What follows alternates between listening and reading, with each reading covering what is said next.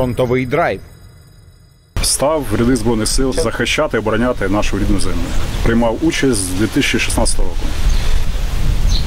Ну, ви знаєте, що настрій такий, як був войовнич на момент 16 року, і зараз я не скажу, що він дуже відрізняється. Хлопці заряджені, хлопці готові, хлопці мотивовані захищати обороняти рідну землю. Поведінка противника ну, напевно, змінилася, бо більш стала агресивною. Інші в нього плани порівняно з 16 роком окупації нашої держави. Звичайно, що люди втомлюються. Ну, вже люди звикли до такої обстановки. Люди мотивовані, люди в будь-якому випадку будуть виконувати поставлене завдання. Що хочу ворогу передати.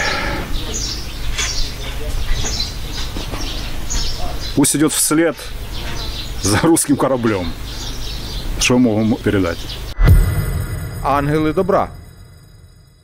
Це допомога наших західних партнерів, е, броньований евакуаційний автомобіль, який ми використовуємо для евакуації наших поранених безпосередньо з поля бою. Гарна техніка, е, повсюду броня, броньовані стекла, шість коліс ведущих, е, всередині обладнана для е, реанімаційних заходів. Від мінометів вивозить.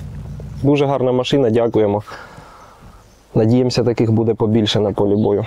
Все важливо. Важливо нічого не пропустити, важливо вчасно надати цю допомогу. Особливо, якщо поранених багато, е, потрібно зробити правильний вибір, кому допомогти, а хто може почекати.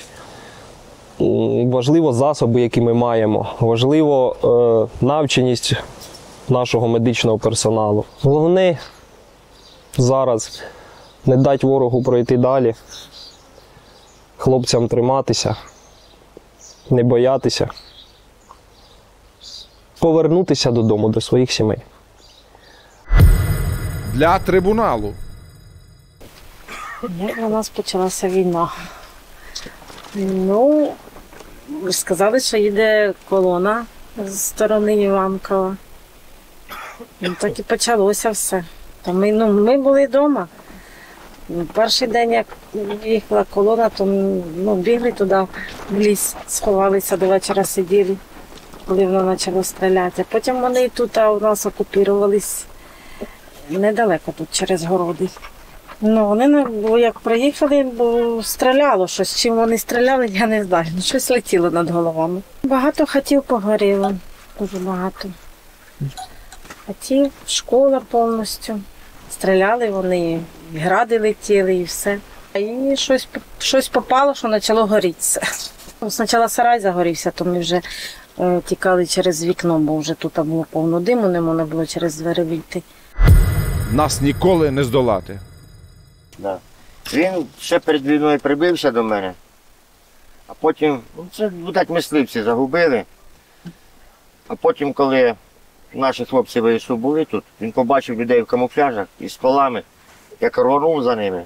Тиждень не було. Бідний приходить, лапа простреляна, у кліщах весь.